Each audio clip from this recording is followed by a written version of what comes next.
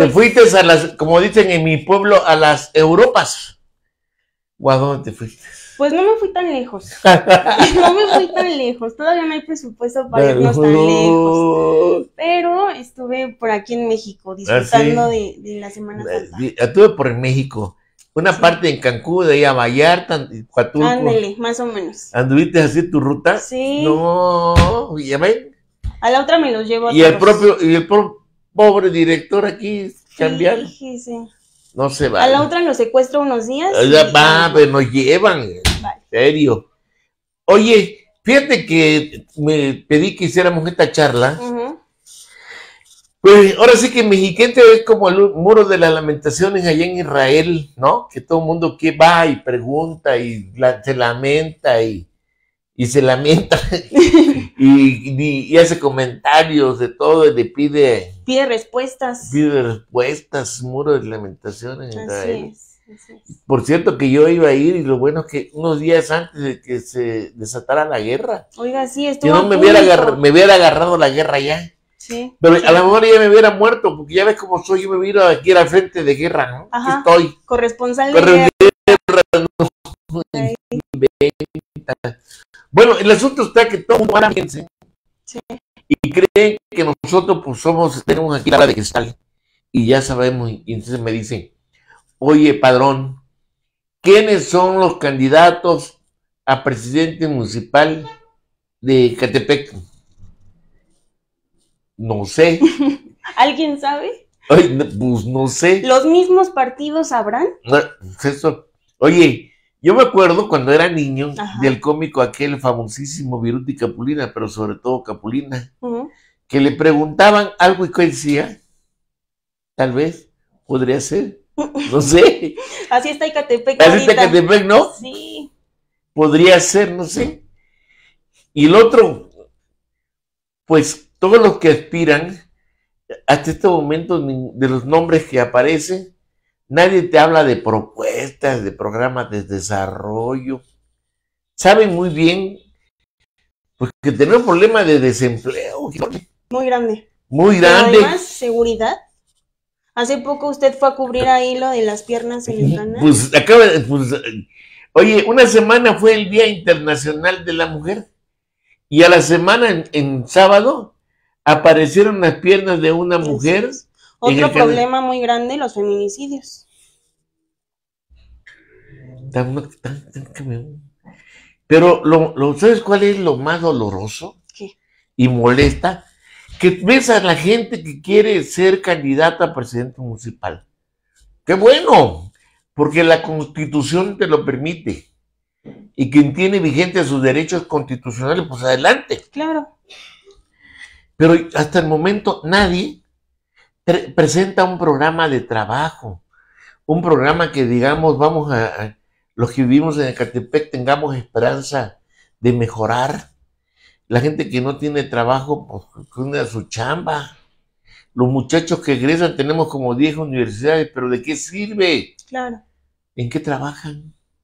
Bueno, a ver, tú eres de la generación de jóvenes, ¿cómo ves la cosa? Pues complicada, compleja y complicada. ¿Serio? Sí, yo creo que la falta de oportunidades nos pega a todos, sobre todo a los jóvenes, porque pues te piden experiencia y dónde la consigues y pues no te dan chance.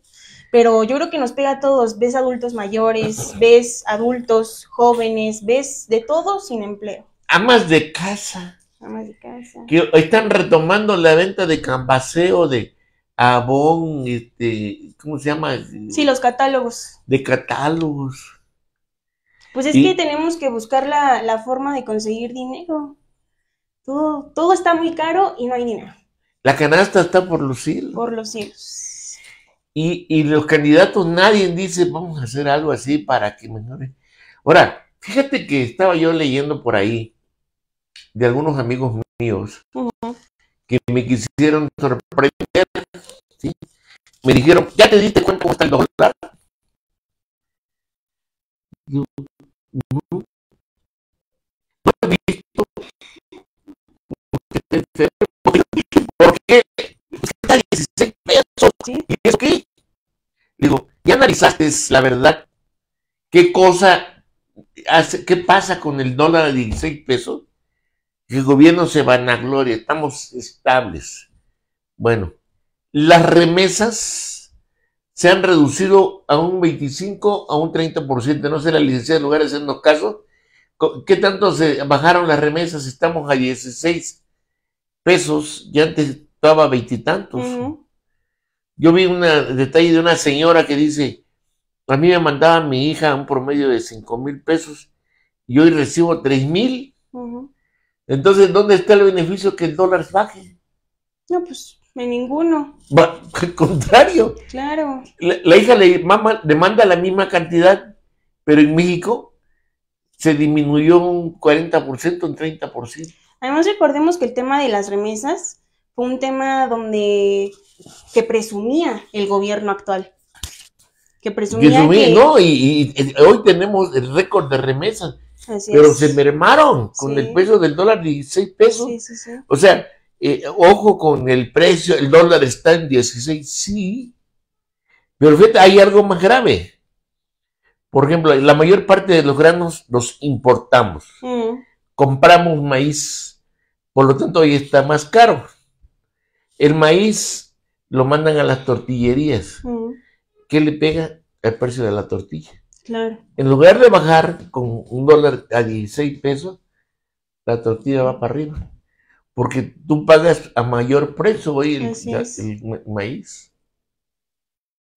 Entonces, oye, pero yo no sé quién haya sido el maldoso de Mexiquense que hizo una nota y un artículo y un video donde hablamos del carnaval de Catepec. Sí lo vi, ¿eh?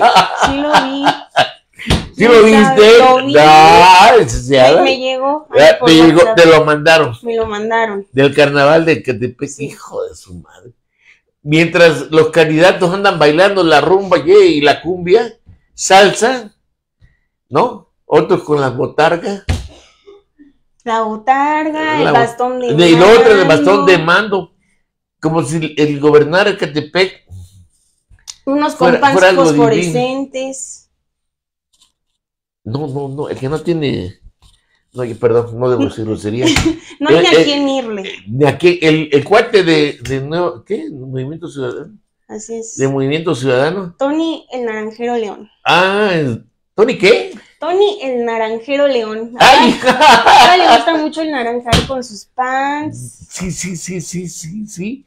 Con, su, con, con sus pants pegados de tubo. Luego le voy a conseguir unos verdes a usted para que venga de México. También mexiquense. Pero ya se va a parecer chapulín, ¿no? Niño. Imagínate ese cuate. Era un prestigiado abogado, José Antonio León Delgadillo.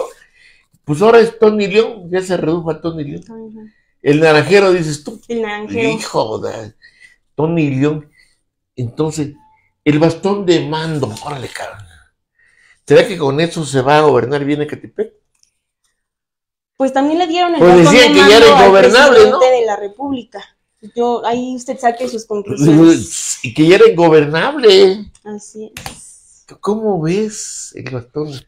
Otro con las botargas, tracas, dan, dan. Está como negrito con curumbe, ¿no? casi, es, casi. es, aquella canción de... De, de Cricri. De Cricri. Sí, así Negrito sandía. Ya no digas picardías. O ya verás. Nombre. y el otro bailando las cumbias. porque Chilo sí trabaja. Así es. Imagínate Chilo bailando cumbias. Qué bien baila, ¿eh? Por cierto. Se parece al de Tensa a Cerquera, que también baila tremendo. Unas clasecitas de baile nos deberían de dar. Oye, Curiño, José Luis Gutiérrez, me respeto, que es colaborador aquí de sí, nosotros. mucho. También, ¿eh? pues echa su buena rumba y echando. Lo que sí dejan muy claro todos los candidatos es que se divierten. Pero esperemos que igual trabajen. Pues es que la, la esencia, la esencia preséntenos un programa de trabajo. ¿Cómo podemos hacer que Catepec ya no tenga esa migración todos los días desde las 4 de la mañana a la Ciudad de México? Si tú vieras cómo baja gente de San Andrés de la Cañada de esta Muchísimo. zona, de que se van a trabajar a Ciudad de México? Pues la gente, justamente yo estudiaba en la Ciudad de México, mi mamá trabaja en la Ciudad de México, entonces todas sufrimos como ese río de gente que va para allá. Para allá. Y a toda hora, ¿eh? Y luego bloqueos, y luego accidentes. Accidentes. Entonces tienes O te suerte tiene si que puedes llegar oye, un o día. echarte la, los que van en autobús, en democrático, echarse a la perrona, ¿no? ¿Cómo ves? Pero eso, yo insisto, el tema central de ahorita. ¿Por qué no nos presentan ya programas? Fíjese ¿Qué que yo creo que se han como... Están, están muy tranquilos porque todavía los, los partidos no les dicen, eres tú. Yo creo que todos están cayéndoles bien ahorita a la gente, están, así vamos a divertirnos, vamos a hacer, vamos lo otro, porque todavía no sé si voy a ser candidato. O sea que están en, etapa de congratulación. Yo creo. Así sería. ¿Sería el término correcto, Luciana? Término de congratularse. Yo me congratulo, tú te congratulas, nosotros nos congratulamos. ¿Te acuerdas cómo se conjugaban, no verdad? ¿No? Yo me congratulo. Ujú. Tú te congratulas. Nosotros nos congratulamos. Yo ya no me acuerdo. ya. Oye, pues, ¿por qué no nos congratulan con nosotros y preséntanos un programa? Digo, perdónenme ahí por ese video de donde de- decimos que el carnaval de Catepec político electoral. Pero es que pues, ya. Y el otro punto, pues, amigo, gracias por considerar a mexiquense que tenemos la bolita de cristal, pero la verdad no sabemos. Por ejemplo, en el PRI, PRI, PAN, PRD, pues como el PRI le toca nominar al candidato a la presidencia, pues nos queda claro, nos queda claro que es Norma Ponce y Isidro Moreno Arcega los probables. Los ¿no? que podrían ser. que podrían ser. Por verde ecologista, que es la otra expresión, la que maneja el doctor Erubiel Ávila Pero- Villegas, pues tenemos a, a- al- Alejandro Albarrán, a Indalecio Ríos, Dolores López, ¿no? Monroy. Y la contadora mm, Rosy Germán, ¿no? Mari Germán, Mari Germán, que ahorita es síndico, que pudiera ser la nominada por ese partido. Varias opciones y varios nombres conocidos. Ya fueron. En el verde cogí Albarrán, imagínate, que perdió. En D'Alessio Río ya fue presidente sustituto y presidente constitucional. Lolita Lo- Lo- Dolores López Monroy fue poderosa secretaria técnica de Indalecio. Así es. Y Mari Germán, ahorita es síndico del ayuntamiento, era originalmente por el PRI y ahora es síndico del Verde Ecologista. No, pero la entrampada está en Morena.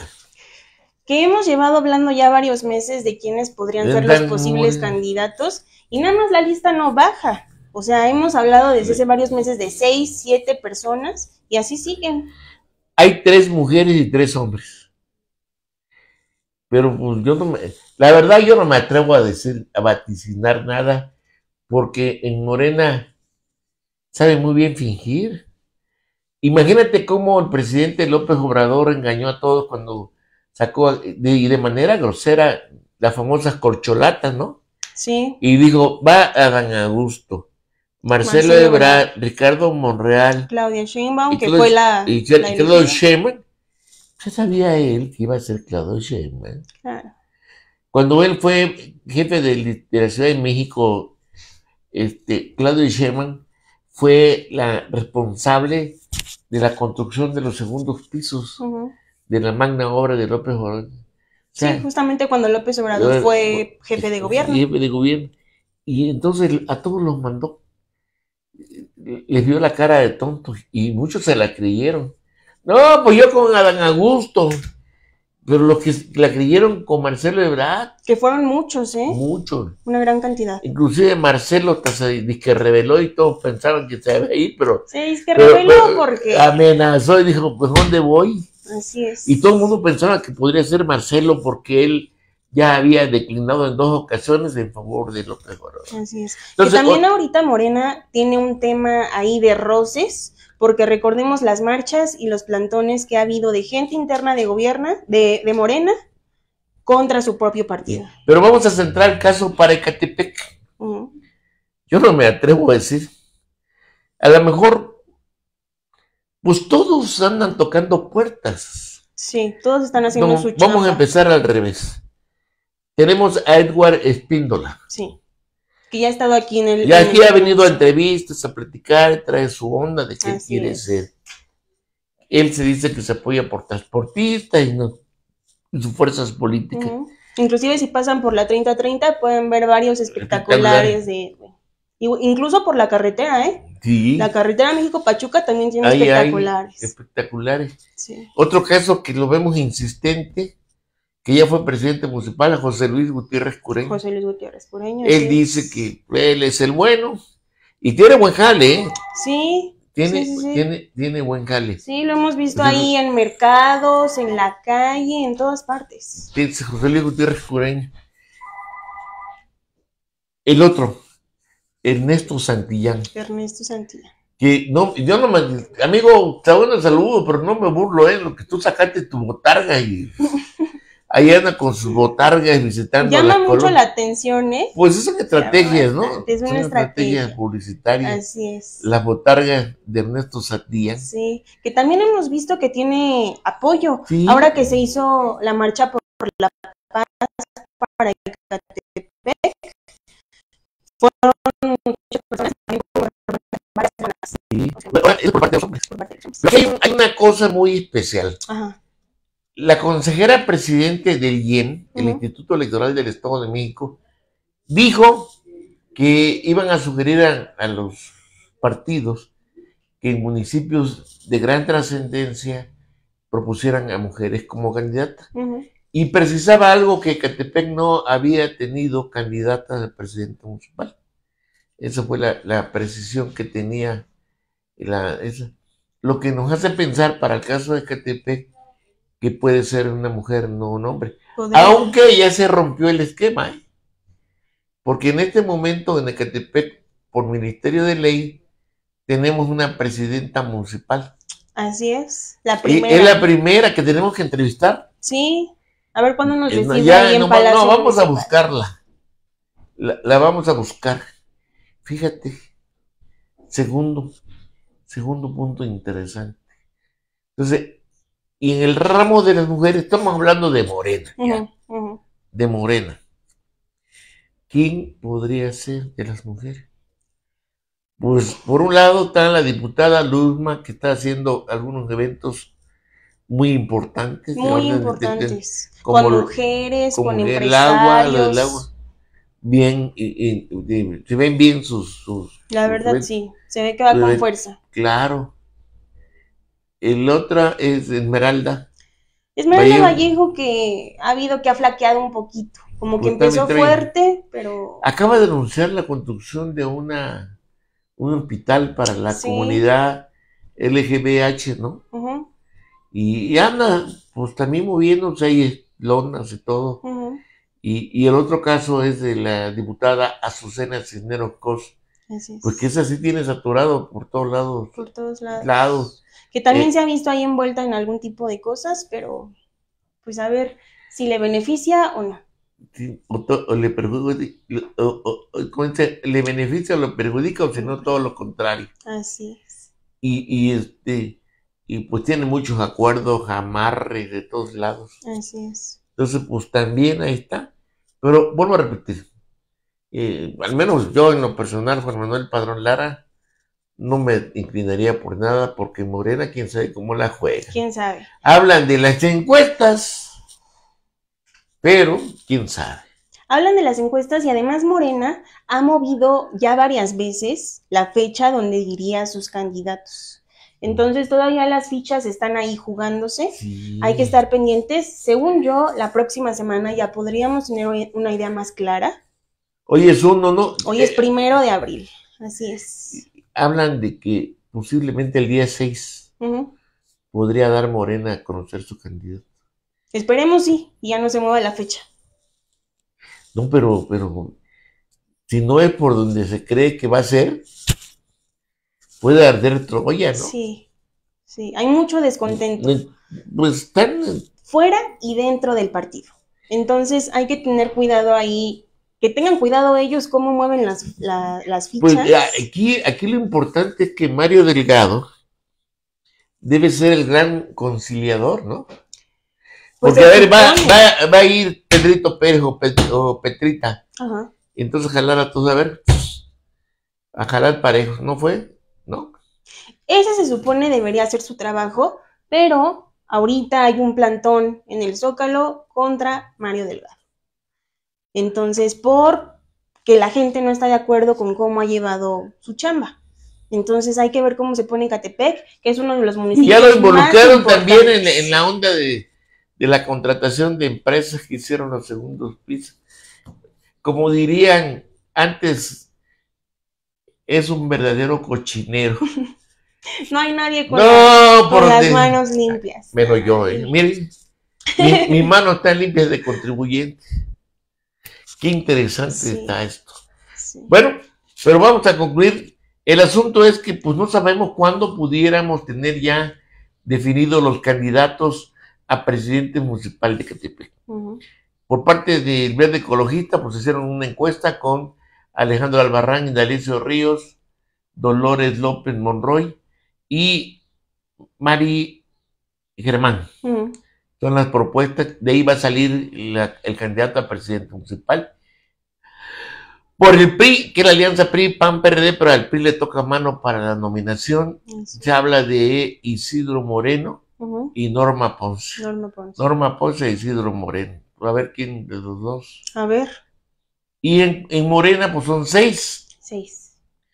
que estamos hablando, Edward Espíndola, Ernesto Santillán y José Luis Gutiérrez Cureña. Y por de mujeres es Duzma Hernández, Esmeralda Vallejo y, Y Azucena. Cisneros. Así es. La moneda está en el aire. Con todos, ¿eh? Con todo, ni para decir. No estamos ni a favor ni en contra. Pero yo creo que sí valdría la pena comentarles que estén pendientes de lo que suba Mexiquense, porque cuando, es, cuando por fin nos lleguen a dar sus propuestas, aquí les vamos a decir para que tengan un voto más informado. claro. Que faltan ya menos de tres meses para ir a votar. Así es. Oye, Carla M. Vázquez y yo. Juan Manuel Padrón Lara, director. Va, va, va. Gracias. Pero hay que darle las gracias también a nuestra compañera que ahora está en cámaras, Alondra. La ingeniero Alondra, ingeniero que en sistemas compu, Ingeniería en comunicación multimedia. en, a ver, ingeniero en comunicación multimedia. Alondra, ¿qué? Ángeles. Alondra Ángeles. Y la, en producción, la licenciada, ¿cómo se llama tú? Que se me olvidó. Es muy importante. ¿cómo ¿cómo- no, se no me acuerdo cómo se llama. La licenciada Reina Aguilar, Aguilar. Aguilar Ordóñez. Ordóñez. Gracias. Buenas tardes. Mexiquense, mexiquense, mexiquense.